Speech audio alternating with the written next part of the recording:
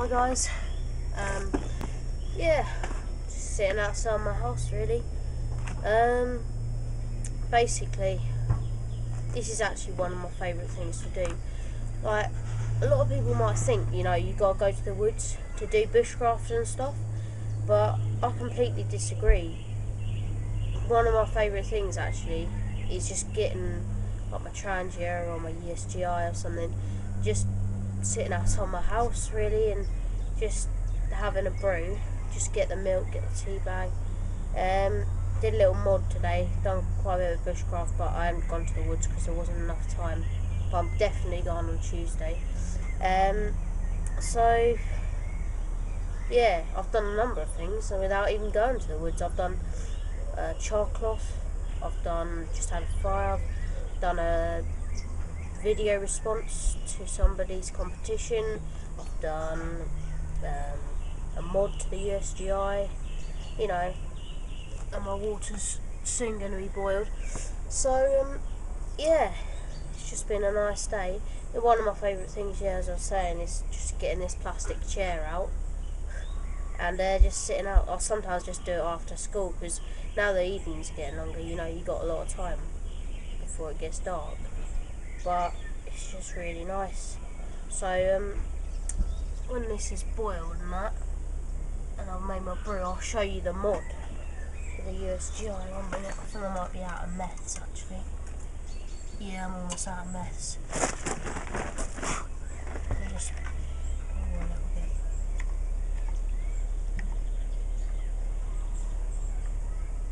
Oh, it's horrible smoke.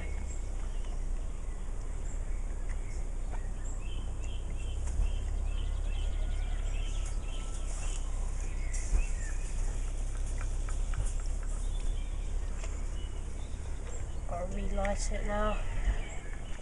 Basically, I'll show you it more in a minute, but yeah, um, got the Mars Zippo to light it here.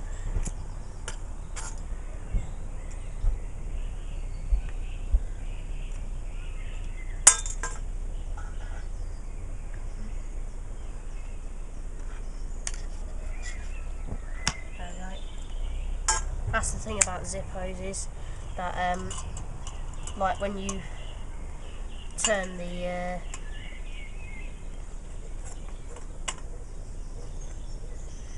um, when you turn the like if I do that it's lit do that flame light goes the other way. That's why I want to get a IMCO or IMCO I don't know how you pronounce it if someone could tell me. That'd be good. Um, lighter like the butane ones where you can like put them on their side and it's like meant for pipe lighters and stuff. So uh, yeah, basically what I've done with the um, USGI mod is um, I've basically just got an Altoids tin, the one I was using to make charcoal. I've just got a bit of fabric, like rolled it up, like flat, so it fits in, and then I've just taken the lid off um, and then I pour meths on it and just light it. Creates a really good stove because it um, cause it just fits in the USGI, and then handily it fits in this pocket down there. Just fits, so I can put maybe a bottle of fuel in here and that, and then I'm thinking of like when I get my um, oh almost sorry about the swear there. Um, I don't know how I'm going to do this now.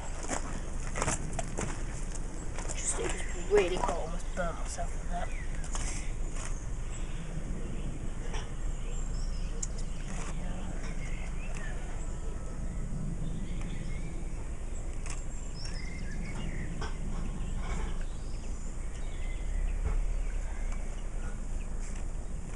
Oh, got myself in a pickle here. Oh my gosh. Well, I'll stop the video and uh, I'll sort it out in a minute.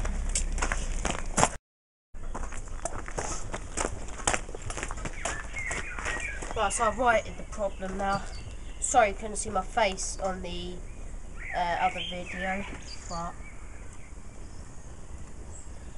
The Thing is, right, it's a bit unstable.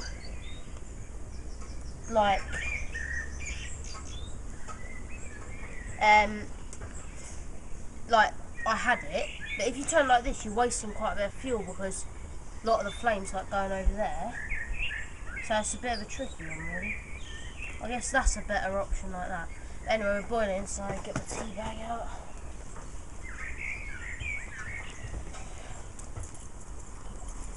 Yeah, where is it? Oh, so typical. Ah, here. Yeah. Pop that one in there. Yeah, basically what I do is just lift it off with these two things. Two, like, bamboo pieces.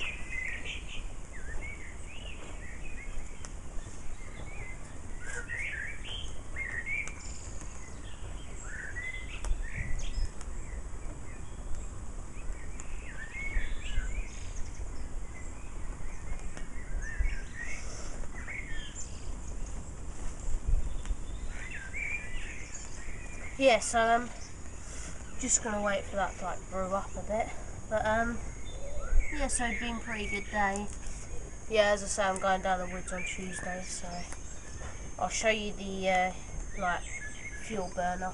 Oh yeah, um, if you're like using quite a lot of meths in the wood, I don't know if they um, sell like 500 ml versions, which would probably be a bit more appropriate for like us bushcrafters like when we're just going for day trips and overnighters. But these I think are so good. This maybe I'll try and do it. I think they're about a tenner each.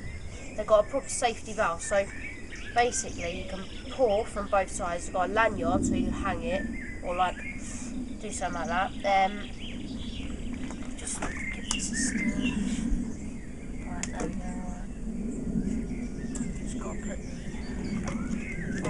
I'll talk to you about that in a minute that off there.